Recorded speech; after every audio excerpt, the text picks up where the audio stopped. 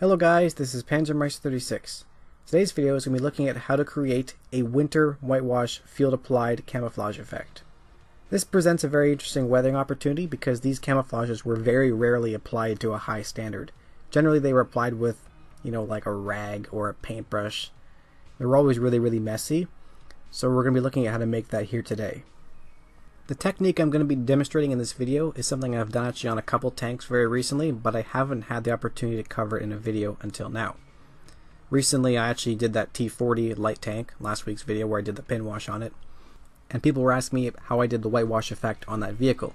So today we're going to be taking a step back and looking at how I did the whitewash effect on that T40 light tank before we did the pin wash. I'll start the tutorial off by giving you guys a little bit of a rundown on the products I'm going to be using and the reasons why I'm choosing the certain products, the certain brands and types of paints. And then I'll give you guys a little bit of a demonstration about how I create the effect. There's two main steps we're going to look at. First of all is hairspray chipping to give us some nice wear and tear effects to make it look like it's been worn down. And then after that, we're going to go in with some washable white paint product and create the messy, uneven field applied effect. So let's get started. The first important product we're going to need is some chipping medium. I'm just going to be using hairspray. This is Tresemme Ultra Fine Mist Firm Control. You could also use chipping fluid, but honestly it's just more work, more money, and the results aren't as good.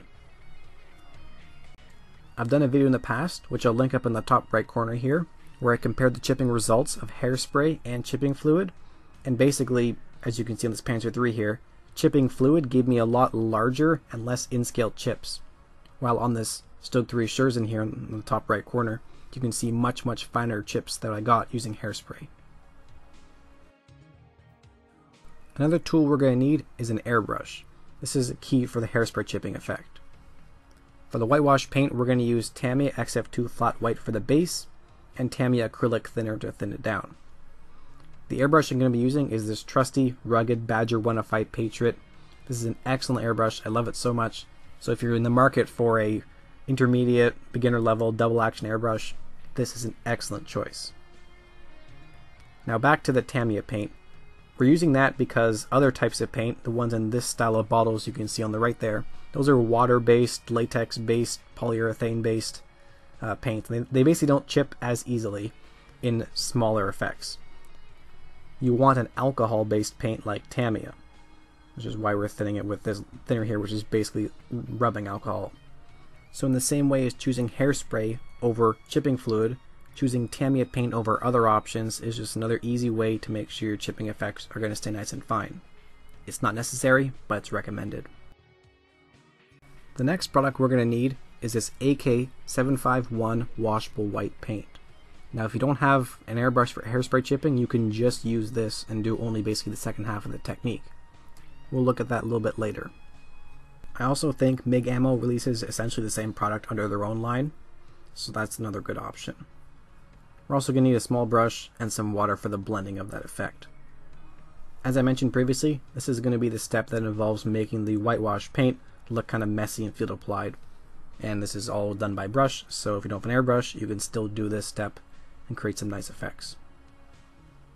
I also want to briefly discuss layering. Now this is our subject here in the video. This is a little T34 sawn-off barrel. It's a weathering mule for me, but it's a good example here. I've painted it with lightened XF65, which is as I did on the T40, and I've actually already given it some chipping effects as well as a pin wash. Now the pin wash was just to test a new product I had, but I would at least recommend that you do base color chipping effects before you apply the whitewash. Now the reason for that is that you want some realistic layering effects. And for example, the tank could have served for a couple of months or weeks before it was actually given the whitewash effect. So by applying chipping beforehand and having the whitewash over top of it, you can get some very realistic layering effects as you can see on the Stug 3 here. Hopefully you guys aren't too bored by now, but we're actually going to get started with the tutorial. So first step is to make sure you've got the hairspray shaken up nicely. Then we're going to start to apply it to the tank. My spray distance is usually about the length of the can. That's always good and then basically you just apply, as I say, two thin misty coats. You don't want to apply too much because you're going to get big chips, just two light thin coats until you get that nice kind of semi-gloss sheen as you can see here. We're going to put that aside to dry for a couple minutes while we just mix up our paint. As I said before, we're going to use XF2 Flat White by Tamiya. And as my usual thing, I'm just going to pour a little bit in my paint cup. And then we're going to thin it about 60-70% with thinner. Mix it up nicely until it's flowing well. It's always good to test spray a little bit before you actually start painting the model so you don't make a mistake like I do right here and apply a little bit too much. But um, the whole effect I'm doing here is kind of supposed to be uneven and messy. We're going for the field applied look, remember? So the way you can apply this, you can just give it an overall thin coat. I'm trying to be a little bit kind of fancy here so you can see I'm outlining certain effects where I'm thinking the paint should kind of be collecting a little bit more when it was applied and kind of ran down the sides. You can also go for some kind of vertical streaking effects. You can start those now, even though we're going to do them later with the acrylic paint. And what I usually prefer to do is kind of make some kind of squiggly, modelly lines here. Once again, we're also going to be modifying that later with the washable white acrylic paint, but the whole point is to basically make an uneven, kind of messy effect that we're going to chip, and then we're going to improve it later with some other effects. This is just the base. And here's the result here. As you can see, I didn't apply too heavy of a coat. I didn't cover it all, otherwise it's a little bit too hard to chip. Make sure there's still some base color showing through. People always ask me how long I leave it to dry before I start to chip it. So basically I go clean my airbrush, and then I come back. So time right now, 11.19 p.m. About five minutes later, I've cleaned up my airbrush, nice and clean, and now we're just going to start chipping. It's pretty quick. So the chipping procedure is pretty basic. I'm using a big soft brush here, a little bit of water, a little bit of water, and then you basically start to rub at the edges, and then the chips will magically start to form. It's not actually magic. What's really happening is the water is soaking through the top layer of paint, in this case the white. It's encountering the hairspray that we applied over top of the green, and then it dissolves the hairspray. The water dissolves the hairspray, which then removes the top layer of white paint, exposing the green underneath. Now you can do this with any paint. You can do this with like red primer underneath and the top color. But here I'm showing you with hairspray chipping the whitewash, which is probably the most common way to use it. Make sure you only have a little bit of water on that brush. If you want to make some scratches, a toothpick is actually a really, really good tool for this. You don't want to use anything metal because it's going to be too sharp but just doing a little bit of damage with a little wooden tool like this, like a shish kebab stick or a toothpick. You can kind of start some scrapes. I like to do it like this. I start some scrapes with that, and then I lightly rub over them with a small brush, and then the chips kind of will start to form from those scrapes, but it'll kind of keep the scrapes intact. It's a kind of cool way to kind of control where the chips are going to form. And really this is actually as easy as it looks. You just basically start rubbing at it with a little bit of water on your brush. A little bit of water, not too much, a little bit. And then it just basically chips. It's pretty easy and it looks great. Now the results are, they look pretty nice, but the issue is we, we have some cool chipping, but it doesn't look like it's been field applied. It looks like it's been sprayed on, which it has been. These field applied camouflages, the whitewashes, were not sprayed on generally. They were usually applied very messily with a brush or a rag or something like that. So we gotta make this look crappier than it is right now. And the key to that is the AK or MIG washable white paint. So I waited about a day for the hairspray to dry completely so it wasn't going to have any problems here. And then I basically just start to kind of make a mess, you would say. It's, it's kind of ugly at first, but it, it looks better once it's done. So I kind of imagine just the crazy squiggles and stuff that the crew would use when they're just kind of slopping on the white paint. And I just basically make the random patterns myself. It might look like it's kind of hard what I'm doing, but honestly, you're trying to make it look random.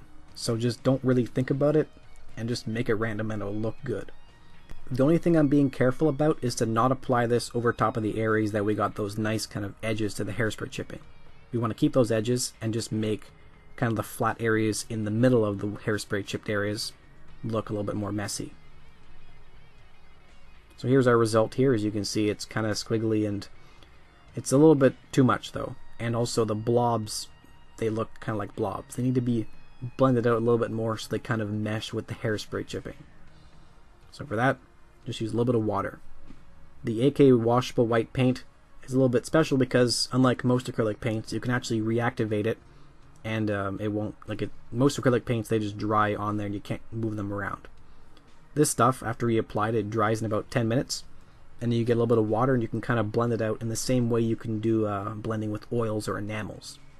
And it kind of, the way it behaves on the model, I like it, kind of behaves like a whitewash. So once you get a little bit of water on there, it doesn't really blend as much as it does reactivate and then kind of smoosh around in a messy, whitewashy kind of way. So it's really, really good for this effect. You can also use this for hand applying numbers and stuff to the turret as well. In some areas I kind of like to mimic the hairspray chipping with this, so as you can see here I'm just kind of rubbing it down to make some almost chipping effects there. It's real basic. And over here I'm actually using some water on my brush to make some kind of streaky areas where it looks like maybe the water has run down the turret and washed away the, the winter camouflage paint.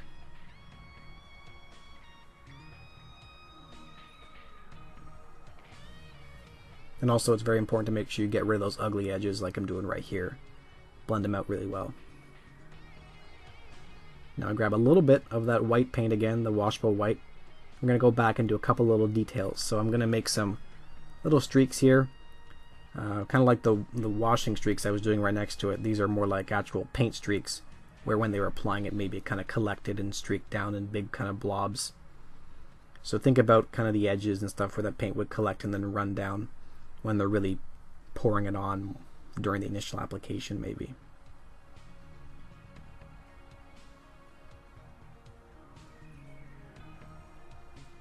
And if you mess this up, you can always just get a little bit of water on your brush and wipe these streaks away and then just try it again. Now a couple areas at the top here is the last step. I decided to kind of blend the chipping out a little bit, make more of a, defined edge. So I apply a little bit of the, of the washable white and then immediately just start to kind of rub it down and that just kind of gives us a, a more stark edge to the areas of chipping. This is just kind of a weird artsy thing I did here on the back, but I figured I'd show you guys. And here is our result. Now, I actually was not expecting this to be as messy. I was kind of go for more of the coverage with the hairspray and less coverage with the kind of squiggles afterwards, making it look messy. But the results, I actually love it. I think this looks like a beautiful Russian messy winter whitewash. It's tricky to make a like a bad camouflage that looks actually like it's realistically bad and not just you were terrible when you applied it. But if you're using a small brush, you can kind of make those chips and stuff in scale. You can definitely make an in scale bad uh, camouflage pattern, as we did here.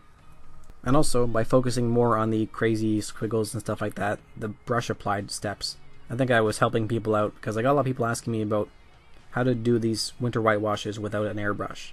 And in that case, I would say just don't bother with the hairspray chipping and just only do the squiggles like I did at the second half. Because you can do that with the brush. You just need the AK or MIG ammo washable white paint product and you just kind of make the squiggles and stuff. And I've done that before on this Stug 3 here I'm showing you right now.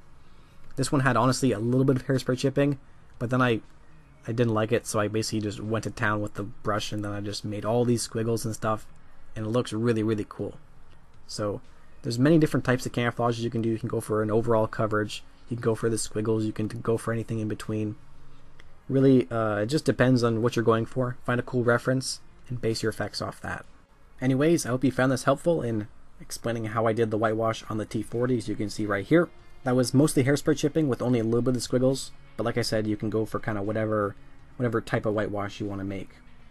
I'm going to leave you off here with this old archive footage from when I was applying the the washable white paint product on this Stug 3 here in an effort to make uh, the brush applied effect. So as I'm talking, I just want you to notice I'm making kind of like little blocks and squares and kind of curves of a kind of like a thin rectangular shape. So I'm kind of making it look like these are individual brush strokes of when they were applying it on. And then I just keep layering them back and forth over top of each other. And then eventually you get like this kind of just messy but cool looking, just like back and forth all the brush strokes. It looks really, really cool. And like I said before, if you don't have an airbrush and you can't do the hairspray chipping part, you can just go with these brush strokes, layer them back and forth, and you'll end up with a really cool result in the end. So while that's playing in the background, I will say thank you very much for watching. If you have any questions or comments, please post them on below. I'm always looking forward to help you guys further by answering your questions, and there's also tons of other awesome guys in our community who will be in the comments below answering your questions if you have any. If you have any ideas or requests for future tutorials, also post them on there. I've got lots of ideas, but I could always use some more, I guess. A huge thank you to my Patreon and PayPal supporters for the little bit of support every month, which helps me buying the paints and products you see in the videos here. That really helps, and it's much appreciated.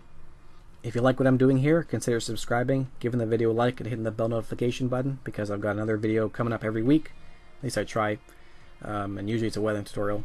Next week might be uh, oil weathering on the T40. We'll see how it goes. I'm a little bit busy right now, but I always try my best to give you guys a cool video every week. As always, thank you very much for watching, and I will see you next time. This is Panzermeister36. Happy modeling.